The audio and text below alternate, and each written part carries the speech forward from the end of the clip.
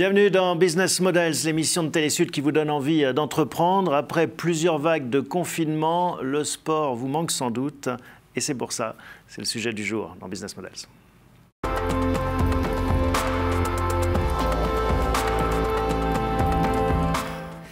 Patrick Daniels, bonjour. Bonjour.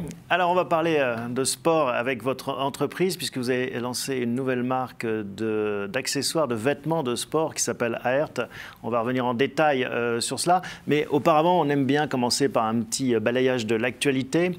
Euh, un monde sportif dans son ensemble qui a été beaucoup affecté par cette crise sanitaire en 2020. Alors clairement, bah, merci déjà pour, euh, pour l'invitation. Oui, il a été affecté euh, de, façon assez nette comme euh, d'autres aspects de, l'économie. déjà, c'est un marché qui économiquement a été fortement impacté, nettement en retrait. C'est un, marché, comme je vous le disais un petit peu avant l'émission, qui a connu un, trou d'air de plus de 20% au premier semestre, mmh. donc ce qui représente un peu plus d'un milliard d'euros. On n'a pas encore les chiffres. Là, c'est pour la France. Hein, Là, c'est pour la France. On n'a pas encore les chiffres définitifs sur l'ensemble de l'année, mais on anticipe euh, une contraction du marché de l'ordre de, de 15% à peu près, avec des modifications dans les, dans les habitudes d'achat, avec un report évidemment sur, euh, sur, le, sur le digital et une pratique à la maison qui s'est accentuée par la force des choses. Oui, avec des choses étonnantes. Hein. Un Tour de France au mois de septembre, Roland Garros euh, décalé également, euh, des matchs de foot dans des stades vides. Alors, si, si une personne avait dormi pendant toute l'année 2020 et se réveillait en janvier 2021 et se retourner, il aurait l'impression qu'on a mis l'ensemble de l'année dans un shaker et que tout est ressorti à des, à des positions différentes. Donc oui, c'était une année qui a été euh, folle en termes d'événements, évidemment, pour, euh, pour les sportifs, pour la pratique. Les stades qui sont, qui sont vides aujourd'hui. Un, Roland Garros qui, pour la première fois de son histoire, ou la deuxième, n'a pas, été, pas mm. débuté au mois de juin. Donc oui, ça a été une année qui a été folle dans le sens des événements et compliquée sur le plan économique. Et c'est peut-être pas fini. Euh, le Japon qui hésite euh, sur la tenue euh, des Jeux Olympiques qui devaient avoir lieu là en 2021 et qui ont déjà été décalés. Qui ont déjà été décalés, oui, certainement, pour, certainement par. par les, pour les raisons que vous connaissez. Donc, de notre point de vue, c'est une, une, très bonne décision. Pourquoi aller prendre des risques quand on a déjà 2 millions de morts au niveau mondial? Mais donc, tout ce sport business et cette perturbation dans, dans le côté euh, événementiel a des conséquences, j'imagine, aussi bah, sur les industries. Hein. Euh, quand on vend euh, des accessoires de sport, quand voilà, on, voit des répercussions concrètes hein. des, grosses conséquences. Un, déjà, quand vous avez un marché qui est en, retrait de, de, 20 points, vous avez déjà des problèmes économiques pour les, pour les, acteurs, pour les acteurs principaux. Ensuite, vous avez certains qui ont beaucoup plus d'agilité. Il y en a qui très rapidement ont su réorienter leur commerce euh, sur, le, sur le digital. Hein. Mais, même ça, si on s'arrête un instant là-dessus, euh, bah, en période de confinement, on prenait plus ses chaussures et son jogging pour aller faire du, du sport. Euh, donc il n'y avait pas forcément besoin d'acheter d'accessoires, y compris sur le digital. Hein. Pour deux raisons. Un, déjà parce que on sortait moins pour faire du sport déjà. Et deux, on avait beaucoup moins l'intention de bien, de, mieux s'apprêter pour la pratique elle-même, puisqu'en général, elle se faisait euh, soit très seule, soit dans son salon. Donc oui, il y a eu un double effet. Mais ça va redonner, euh, ça va revenir vite. Vous, vous êtes optimiste. Vous vous dites, euh, on va récompenser finalement ce qu'on n'a pas dépensé dans ces derniers mois? C'est une, question que tout le monde se pose. Hein. Le premier confinement, c'était quoi? C'était 54 milliards qui n'avaient pas été dépensés. Elles l'ont été partiellement quand, quand, il y a eu le, déconfinement. Nous, on, parie quand même sur une explosion du sport une fois que la situation sanitaire se sera euh, assainie, sans faire, de, sans faire de jeu de mots, parce que euh, faire du sport dans son salon, ça, c'est limite. Et tout le monde a envie de sortir. L'impression qu'on avait tous, c'est que les Français se sont tous mis à courir euh, pendant le confinement. La, réalité, c'est qu'ils étaient simplement beaucoup plus visibles et sortaient à peu près à la même heure. Mais il y a quand même eu un tassement de la pratique sportive à l'extérieur pendant cette période-là. Donc, on, parie sur une explosion et les gens ont besoin d'avoir leurs voisins à côté d'eux dans leur salle, euh, etc. Bon, en tout cas, les Français s'étaient mis à courir même avant euh, cette crise sanitaire et ce confinement. Hein. On voit que la pratique sportive ne cesse de se développer et c'est justement pourquoi c'est un marché qui attire de plus en plus d'entrepreneurs.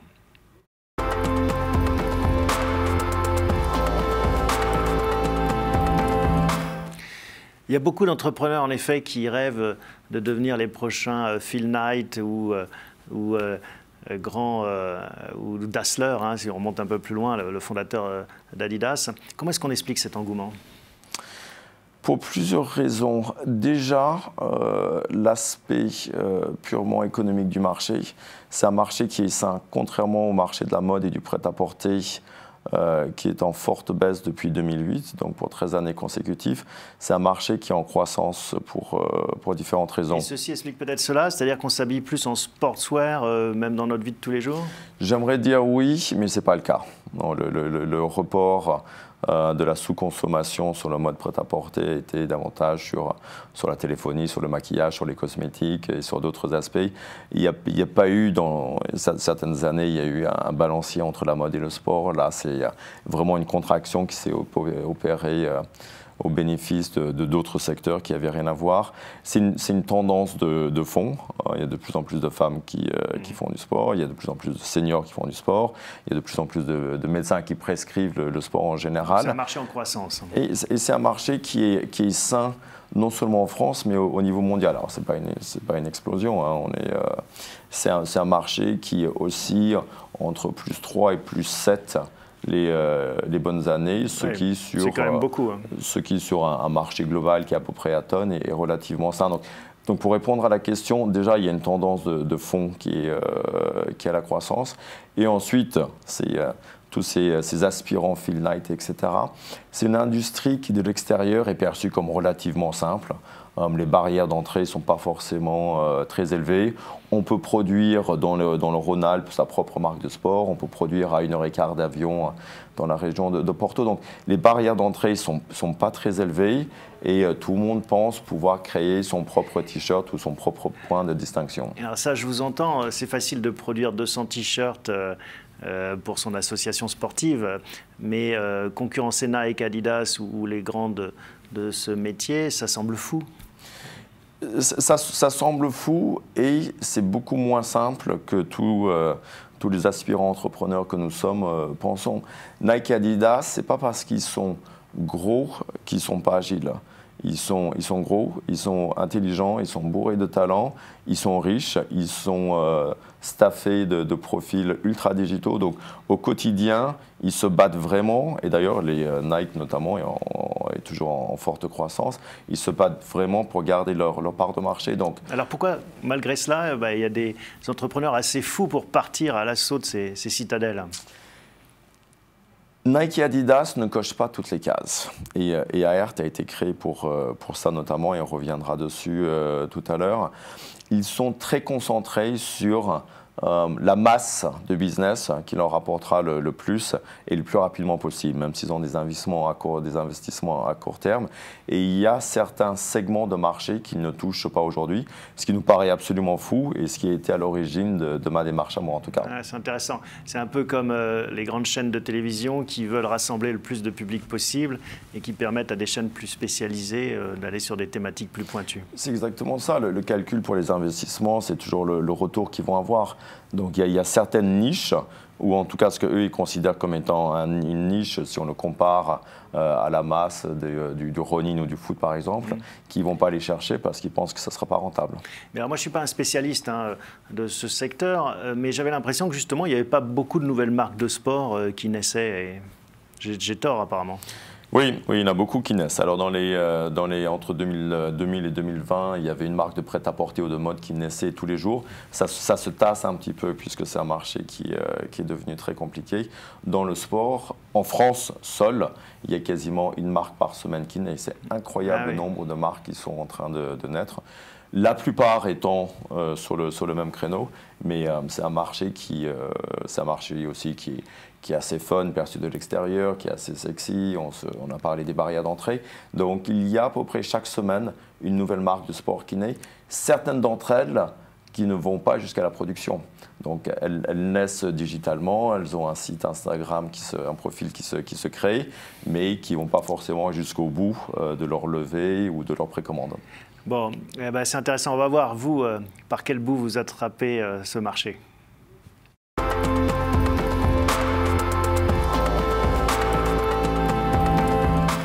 Alors une question rituelle pour commencer. Aert, le nom euh, de votre entreprise, euh, bon, c'est un anagramme de Earth, on imagine assez aisément.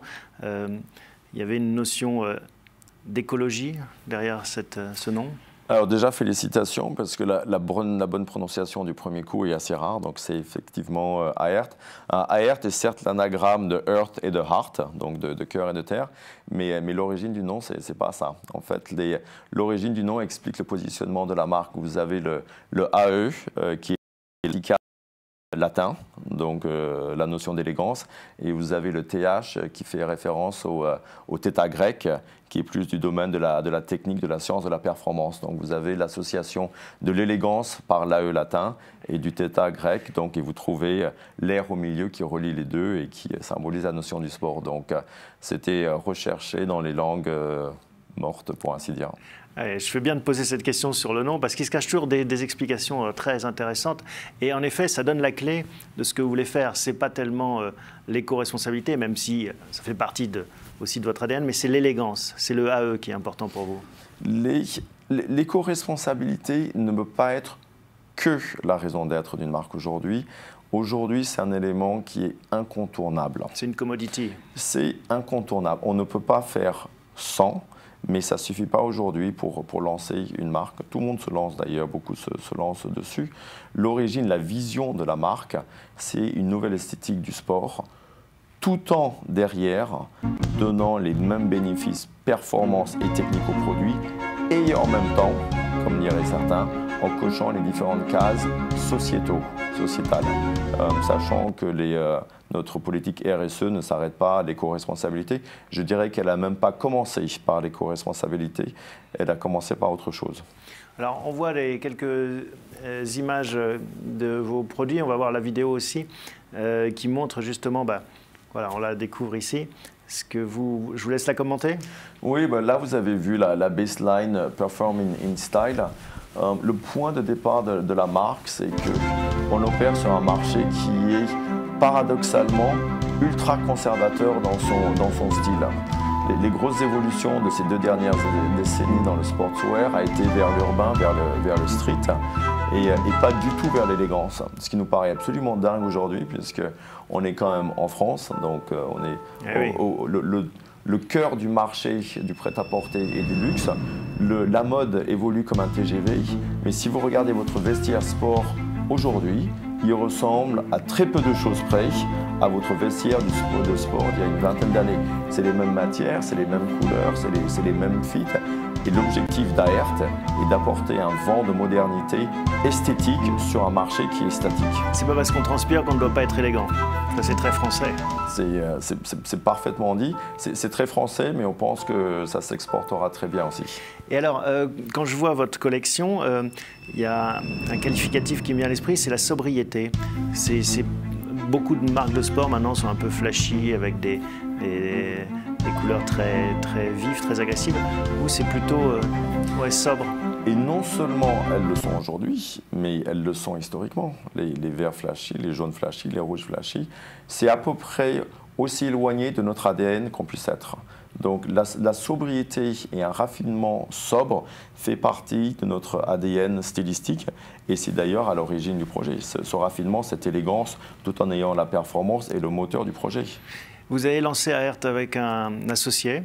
Euh, tous deux, vous avez un, un parcours euh, et une grande expérience dans ces industries euh, textiles ou de distribution de mode. Euh, comment est-ce que tout d'un coup on, bascule et on se dit tiens moi aussi je vais partir avec mes petits bras pour lancer ma, mon aventure ça, part de plusieurs choses. Un, ça part du, du constat qu'il y a une demande qui n'est pas satisfaite aujourd'hui qui s'exprime, qui s'exprimait déjà il y a une vingtaine d'années quand je construisais les collections textiles pour une grande marque de sport. On me posait la question, mais pourquoi est-ce que vous ne faites pas des choses qui sont un peu plus raffinées, un peu plus proches du corps, avec des, des coloris qui sont peut-être un peu plus dans, dans l'air du temps Donc ça part d'un constat d'un besoin, consommateur qui n'est pas satisfait aujourd'hui. Ça part aussi euh, d'une passion et d'un savoir-faire. Ça a été mon métier pendant, pendant des années et je vis, je baigne dans le textile et dans la mode depuis, euh, depuis des années. Et ça part aussi du, du constat que économiquement, c'est un marché qui est, qui est très sain et qu'on a le savoir-faire. Donc, une fois qu'on a fait 20-25 ans dans un univers euh, corporate de, de on se dit, je pense qu'on peut faire une différence sur ce marché.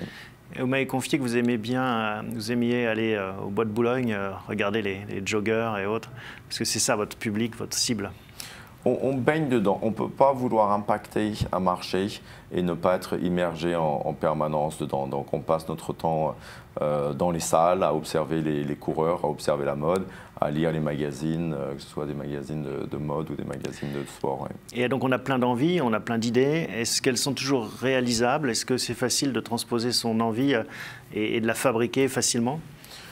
Je crois que c'est l'énorme différence entre ceux qui aspirent à être entrepreneurs et ceux qui le deviennent véritablement. On a tous une vision et on nourrit tous des rêves. Et si je, si je faisais ça et, je dirais que la réponse est non, c'est pas si simple que ça, parce que cette vision-là, il faut la matérialiser au quotidien avec des stratégies qui se déclinent en initiatives. Donc, euh, non, il faut avoir un drive au quotidien.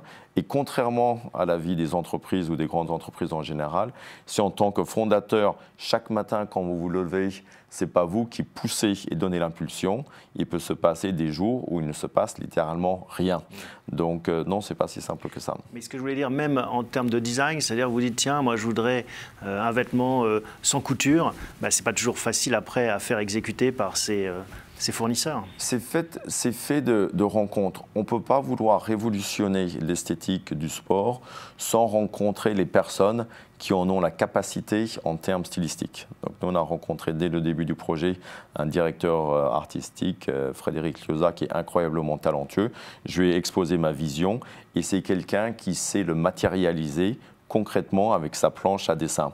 Donc on a, une, on a une vision, faire du sport autrement avec notre élégance, et on a quelqu'un derrière qui arrive à le matérialiser de façon ultra concrète, avec des formes, des couleurs, des fits qui sont différents. Que ce soit réaliste à faire fabriquer après par les usines qui devront prendre le relais.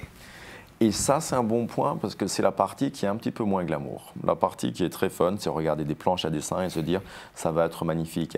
Mais à ce moment-là, vous remontez les, manches et vous commencez à travailler sur ce qu'on appelle le, prototypage des produits.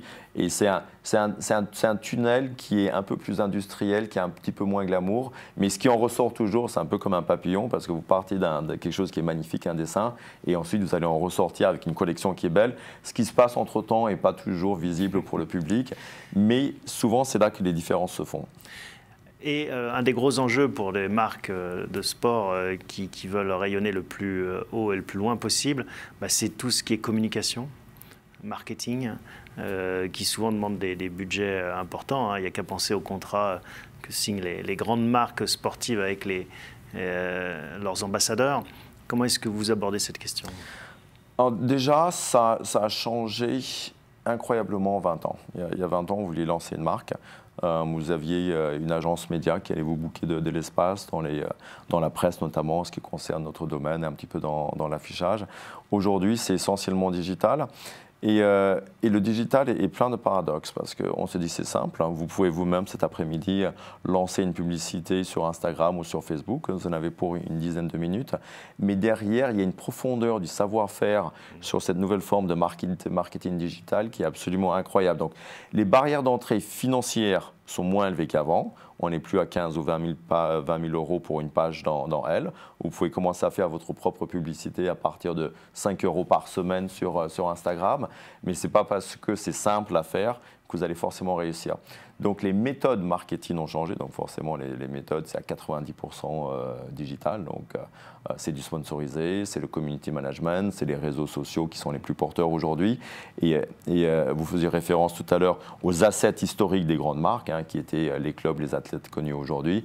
Et aujourd'hui il y a une transposition sur, sur les influenceurs, sur ceux qui sont le plus en vue, avec des grosses communautés ou des petites communautés, mais les, les, les codes, vous ne pouvez pas imaginer à quel point elles ont changé. On va voir ce qui, euh, vous, a changé dans votre vie euh, maintenant que vous êtes entrepreneur.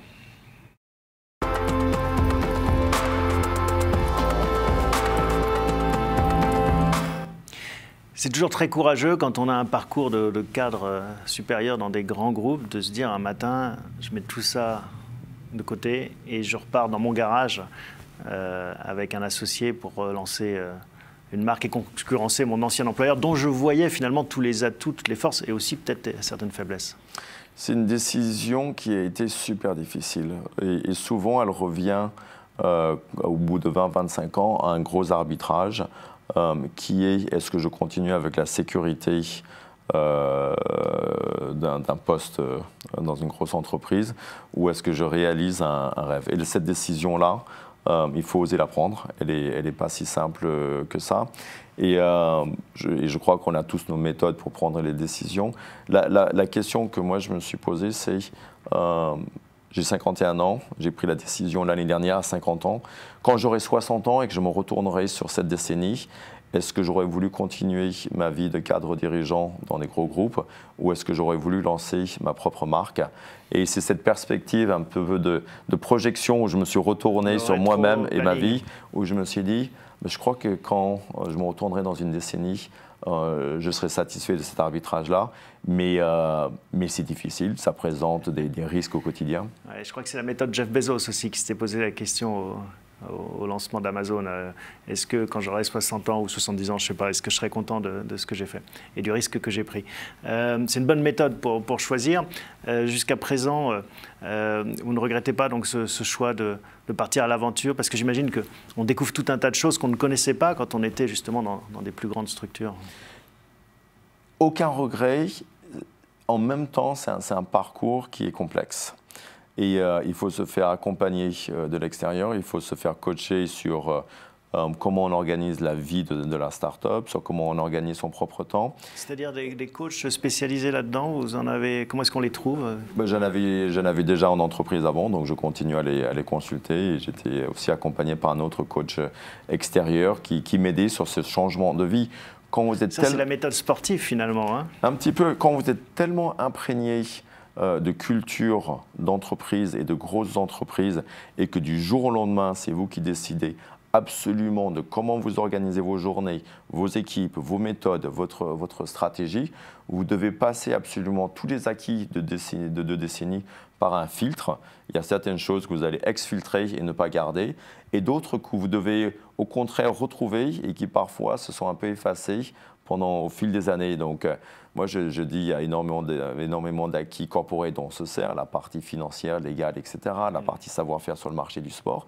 Par contre, on a perdu une certaine intuition business et on essaye de retrouver cet instinct qu'on avait en début de, carrière. Et puis on doit être plus polyvalent que dans un grand groupe, c'est-à-dire que souvent on est dans une boîte avec une, une spécialité euh, et quand on devient entrepreneur, finalement, bah, on doit euh, aller acheter du café et puis sortir les poubelles le soir. Mais c'est exactement ça. j'ai, des histoires de dingue. Hein. Quand, j'ai, quand j'ai commencé, j'ai essayé de me souvenir de la dernière fois où j'avais eu un billet de train à prendre. Moi-même, par exemple, c'était a, on, se déshabitue euh, quand on est accompagné au quotidien par des, par des collaborateurs, collaborateurs à beaucoup de choses.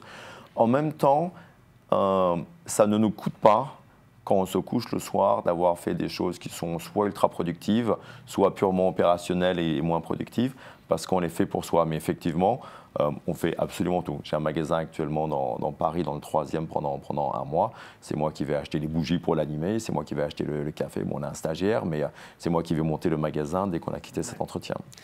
Euh, est-ce qu'il y a des, des personnes qui, qui, vous inspirent ou qui vous ont inspiré dans votre carrière et dans, dans votre vie d'entrepreneur? Oui, oui il, y en a, plusieurs, notamment dans les grands groupes. Il y en a eu, euh, j'ai passé plusieurs années chez, chez Lévi-Strauss, où il y avait une très puissante culture du, leadership avec des, profils qui arrivaient à, combiner euh, une vision absolument euh, incroyable depuis des années, qui arrive toujours à la renouveler, avec une conduite des équipes et un leadership étonnant et en même temps une certaine admiration sur ce qu'ils étaient en tant que personnes, avec une résilience assez constante sur les, aléas du, quotidien, que ce soit le cours de bourse ou autre mm. chose. Donc oui, oui, il y en a, il y en a eu euh, et, certains que je consulte encore beaucoup aujourd'hui et qui nous accompagnent dans le projet. vous êtes resté en contact et ça vous... Ah, énormément et je, et je bénis d'avoir gardé un, un, énorme réseau puisque aujourd'hui, quand, quand, on se lance, euh, les, premiers acheteurs sont souvent les friends and family, donc euh, ce, réseau, il est, mm. il est encore plus utile aujourd'hui qu'il l'était hier. Et quels conseils il vous donne alors? Le réseau en général ou les, personnes qui accompagnent En fait, un conseil qui vous a frappé ces dernières semaines ou ces derniers mois, qui vous ont donné, enfin, qui vient de ce réseau proche Ils nous disent écoutez-nous. ils nous disent écoutez-nous, quand on est au front, au quotidien dans son projet entrepreneurial, sur certains aspects, on perd, on perd le recul. Donc, ceux qui nous coachent disent écoutez-nous, prenons une pause, faisons une vraie parenthèse et faisons un point sur la façon dont tu t'organises, dont tu pilotes l'activité, etc. Euh, au quotidien, il nous manque ce recul, parce qu'on est sur des domaines qui sont très stratégiques ou beaucoup moins stratégiques, mais on y pense 24 heures sur 24 mm. et assez rapidement, on a du mal à faire ce détachement par rapport au quotidien. Donc, les coachs disent euh, laisse-toi coacher. Et voilà, la boucle est bouclée. Merci en tout cas, Patrick Daniels, de nous avoir raconté euh, cette aventure à Hertz. Euh, vous l'avez compris, hein, si vous voulez courir de manière élégante ou faire du sport, quel qu'il soit, eh ben, vous avez une autre possibilité pour votre garde-robe. Merci à tous en tout cas pour votre fidélité. On se retrouve la semaine prochaine pour un nouvel épisode de Business Models. Merci pour l'invitation.